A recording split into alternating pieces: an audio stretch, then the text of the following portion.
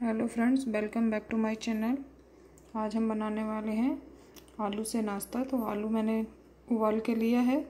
इस आलू को अब ये मैश कर लेंगे। आलू को अच्छे से मैश कर लिया है। अब हम आलू में कुछ मसाले मिक्स करेंगे।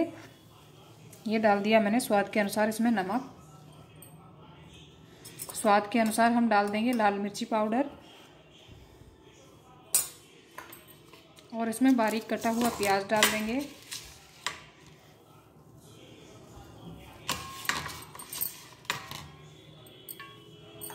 बारीक कटा हुआ धनिया डाल देंगे। अब इन सबको हम हाथों की सहायता से मैश कर लेंगे।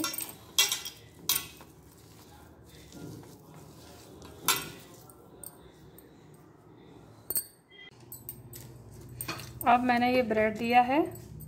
ब्रेड पे हम आलू, जो हमने मसाले मिक्स करके रखा है, उस आलू से थोड़ा लेंगे आलू और इसको इस तरीके से फैलाते हुए।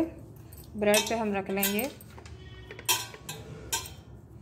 इसके ऊपर अब हमको फिल करना है चीज़ स्लाइस।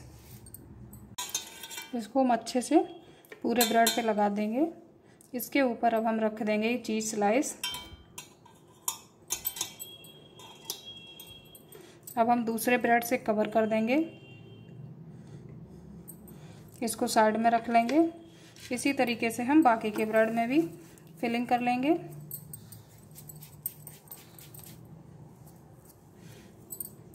पहले हम आलू रखेंगे इस पर आप आलू की टिक्की जैसी बना के रख सकते हैं।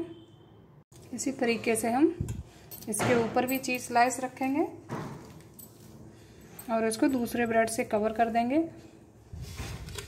इसी तरह से हम सारे ब्रेड बनाकर तैयार कर लेंगे। ये चीज़ चीज़ सैंडविच है, इसको आप बच्चों के लंच बॉक्स में भी रख सकते हैं, नाश्ते में भी बना सकते हैं ईजिली बन जाते हैं। झटपट से चलिए अब इनको हम फ्राई कर लेते हैं। फ्राई पैन मैंने रख दिया है फ्राई पैन गर्म हो चुका है।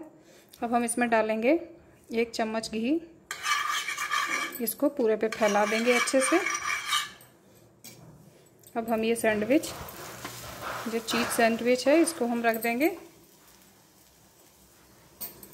ये एक साइड से फ्राई हो गया है। अब इसको हम निकाल लेंगे। इस तरीके से कलची के ऊपर कर लेंगे। इस पर हम फिर से घी डालेंगे। और पलट के दूसरी साइड से लो फ्लेम पे हमको फ्राई करना है, जिससे चीज़ भी अच्छे से मेल्ट हो जाएगी और ब्रेड भी एकदम ब्राउन ब्राउन क्रंची सा सिक के तैयार होगा। ये चीज़ सैंडविच फ्राई हो चुका है। अच्छे से इसमें से मेल्ट हो गई है ये, जो चीज़ लगा है मैं, इसको अब हम निकाल लेंगे। आप देख सकते हैं, ये चीज़ अच्छे से मेल्ट हो गई है।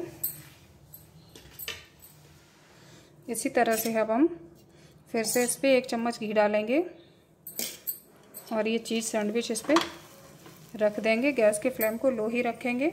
ये हमारा दूसरा चीज़ सैंडविच भी अच्छे से फ्राई हो गया है, इसको भी हम निकाल लेंगे।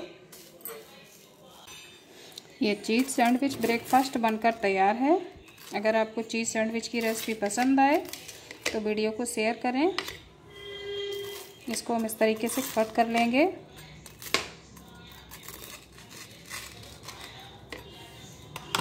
आप देख सकते हैं, एकदम से अच्छा ब्रेकफास्ट बनाने में और झटपट बनकर तैयार हो जाता है। please like and share.